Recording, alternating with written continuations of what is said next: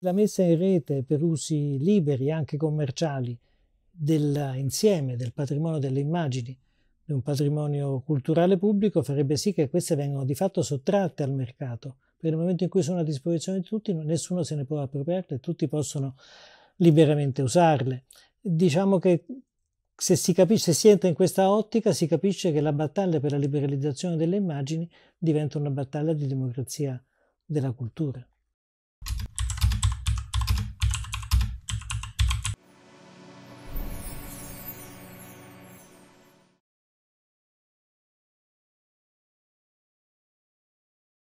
Per a tu per tu con la conoscenza aperta intervistiamo il professor Daniele Manacorda eh, già ordinario di metodologia della ricerca archeologica all'Università Roma 3 e membro del CDA del Parco Archeologico del Colosseo.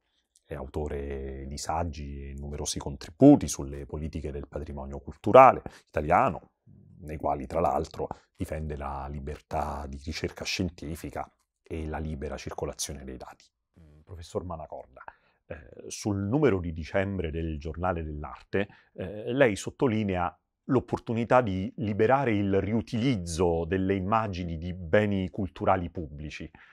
In particolare ha criticato le prese di posizione del sindacato francese eh, contro la decisione di alcune istituzioni, tra cui i musei comunali di Parigi, di autorizzare il riuso delle immagini dei beni culturali per qualunque scopo, compreso quello commerciale.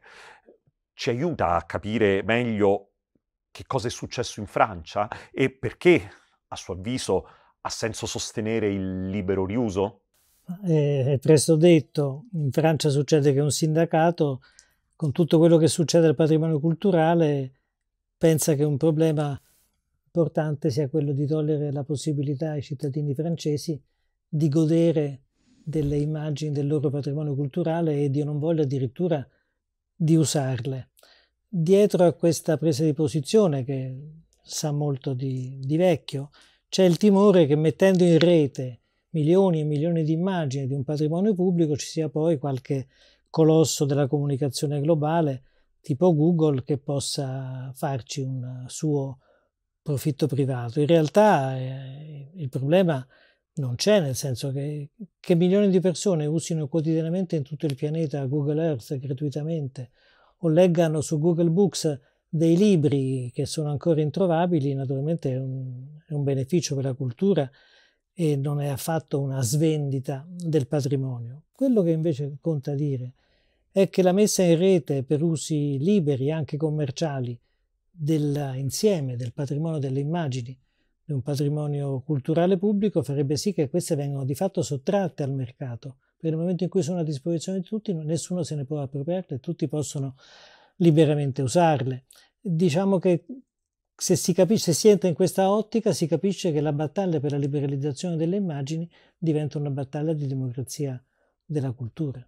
In Italia eh, il Museo Egizio di Torino è l'unico ad applicare alle immagini in rete licenze Creative Commons eh, che consentono il libero riutilizzo delle immagini anche per fini commerciali, peraltro le stesse utilizzate da Wikimedia. A parte questa esperienza, si nota una generale diffidenza da parte degli istituti culturali del nostro paese, preoccupati per il venir meno di possibili introiti dalla vendita dei diritti sulle immagini in rete. È un rischio concreto secondo lei? È vero esattamente il contrario. Per fortuna sono molti ormai nel mondo le istituzioni culturali che mettono liberamente in rete le immagini anche ad alta definizione del proprio patrimonio. In Italia abbiamo l'esempio luminoso del Museo Egizio. Poi ne hanno innanzitutto un ritorno di immagine e non parlo del ritorno culturale di comunicazione e diffusione della cultura che questo prevede. E se noi andiamo a vedere i conti ci rendiamo facilmente eh, conto che gli introiti che la mano pubblica, che l'amministrazione pubblica ricava dalle concessioni d'uso delle immagini sono degli zero virgola all'interno del bilancio del patrimonio culturale. Minime sono in generale le, gli introiti da concessioni, ma la maggior parte degli introiti da concessioni che non superano il 3% di quanto introita l'amministrazione pubblica in questo settore sono da concessione di spazi, di cose, non di immagini. Le immagini sono veramente una, una cosa del tutto marginale e naturalmente c'è una distinzione che andrebbe fatta, ma non possiamo fare adesso, ci porterebbe lontano, che una cosa è dare in concessione in uso un bene materiale che se uso io non userà qualcun altro in quel momento e quindi c'è quella che si chiama una rivalità nell'uso e quindi è giusto imporre un canone di pagamento. Quando io metto in rete liberamente un'immagine, quella immagine a disposizione anche di altri nel momento stesso in cui la uso io. Senza contare che la messa in rete delle immagini produce cultura, produce creatività e produce quindi lavoro e produce ricchezza, ricchezza pulita. E tutto ciò si trasforma poi in introiti anche per la finanza pubblica dal punto di vista della fiscalità generale perché aumenta l'attività produttiva. E anche, non dimentichiamocelo, così forse si dà un'interpretazione più realistica dell'articolo 9 della nostra Costituzione, tante volte stiracchiato da tutte le parti, che nel comma 1 dice che una delle funzioni principali della Repubblica è quella di diffondere la cultura. Diffondiamola gratuitamente e lasciamo che su questa si produca ricchezza e creatività. C'è però mm, chi ritiene che la perdita di controllo sulla diffusione delle immagini possa danneggiare il decoro, il prestigio dei monumenti pubblici. Pensiamo all'immagine del Colosseo, riprodotta serialmente su bottiglie di birra o pacchetti di sigarette. Lei non si scandalizzerebbe? Ma non mi scandalizzo mm, neanche se vado al Cinema Colosseo, all'Hotel Palatino o alla Trattoria Fontana di Trevi. Per fortuna i nomi non sono ancora proprietà di nessuno e mi auguro che non lo siano neanche le immagini. Io mi scandalizzo semmai delle bestialità che sento dire in questo campo, perché il codice urbani, quello che, il codice dei beni culturali, certamente eh, vieta usi non compatibili con il carattere storico, artistico e con il decoro del patrimonio culturale, ma intende dire che non si può recare pregiudizio alla loro conservazione, quindi agli aspetti materiali. Io non posso danneggiare un, un bene materiale. Ma se entriamo nel tema delicatissimo dell'uso che io faccio dell'immagine di questo bene, noi forse non ci rendiamo conto di quale strada spinosa cominciamo a percorrere. Si sente dire che bisogna prevenire la banalizzazione del patrimonio culturale, oppure che bisogna impedire che si faccia un uso non corretto. Ma banale rispetto a che? corretto rispetto a che? Ma specialmente domandiamoci chi mai dovrebbe decidere se l'uso che io faccio dell'immagine di un patrimonio culturale sia o non sia consona con il suo decoro, ma lo decide la politica? Per fortuna non siamo in uno Stato autoritario di carattere etico. Lo decide la pubblica amministrazione, un funzionario in una stanza, in base a quale codice, a quale repertorio di comportamenti? Lo decide la magistratura?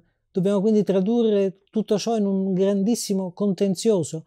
Stiamo parlando di principi fondamentali della manifestazione del pensiero, che sono per fortuna tutelati dalla Costituzione. Si dice che bisogna evitare eh, un uso che, che non sia degno del patrimonio. Ma che cosa significa che non sia degno del patrimonio?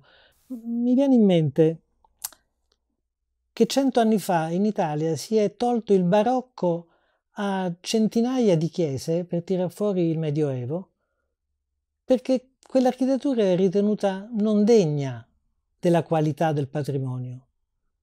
Mi viene in mente che 400 anni fa un genio dell'arte come Bernini chiese di demolire il mausoleo di Cecilia Metella perché gli servivano le pietre, perché quella rovina non era degna di stare in piedi.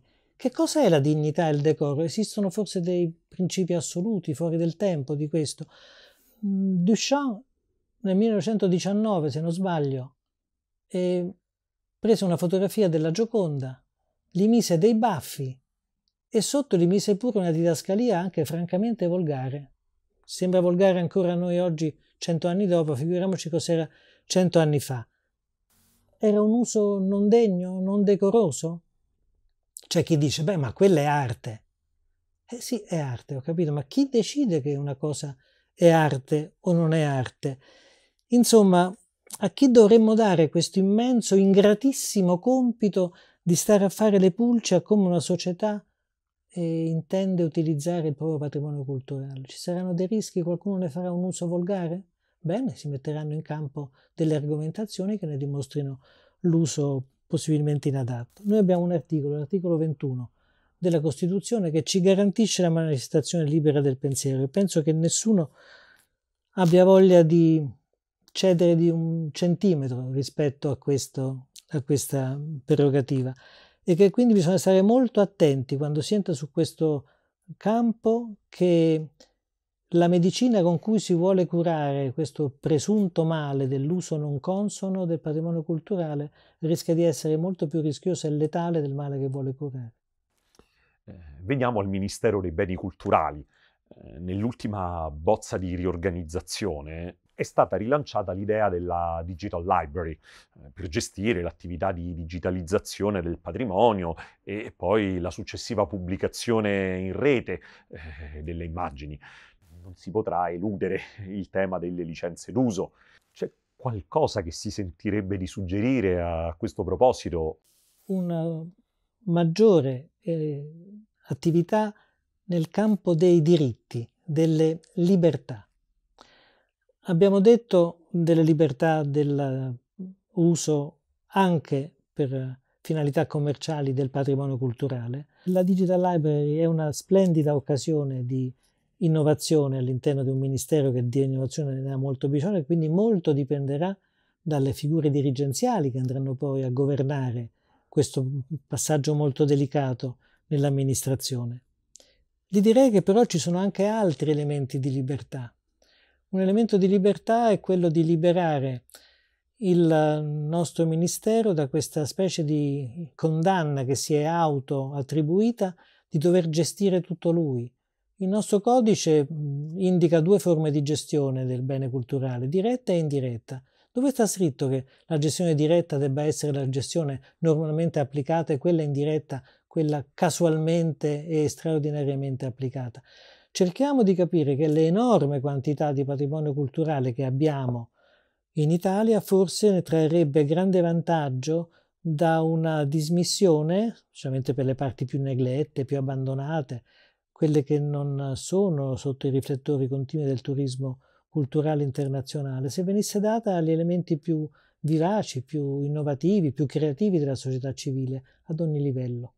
Questa sarebbe una grande battaglia che Peraltro non farebbe altro che interpretare il comma 4 dell'articolo 118, che è l'articolo che regola e indica i principi della sussidiarietà sia verticale che orizzontale e che in Italia è veramente molto poco applicato. Continuo a non capire perché la sussidiarietà venga poi considerata un bene quando è applicata in campo sanitario, in campo sociale o in campo ambientale, se si deve applicare in campo culturale scatta un meccanismo per cui i profani devono stare fuori dal Tempio perché tanto ci pensiamo noi.